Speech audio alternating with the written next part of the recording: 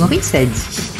Pourquoi est-ce que certains pourraient écrire des bouquins en disant oui moi je suis malade, je suis complètement défoncé, je peux pas m'empêcher, etc. Et, personne ne vient leur dire euh, ding dong, on a lu votre bouquin, où est la voiture? On va lui mettre un sabot ou on va la mettre à la fourrière et vous donnez-nous de votre permis, on veut plus vous voir sur la route. Pourquoi? Soit on décide de faire un exemple et on fait un truc fort pour tous les autres, donc tous ceux qu'on n'a pas attrapés, pour qu'ils se disent putain si je fais une connerie, la punition sera sévère. Soit on fait comme d'habitude, on se caresse, on va chercher les trucs, on pleure avec lui, etc y a toutes les photos sur toute la presse, on le voit. Alors là, on met plutôt des photos de lui un peu triste pour qu'on se dise ah le pauvre quand même. Et puis les autres, c'est des kidam, on ne les rend pas humains, ce sont des victimes. Terminé. On ne va pas vers l'histoire de ces gens. C'est pas acceptable. Même cette manière de traiter l'information n'est pas acceptable.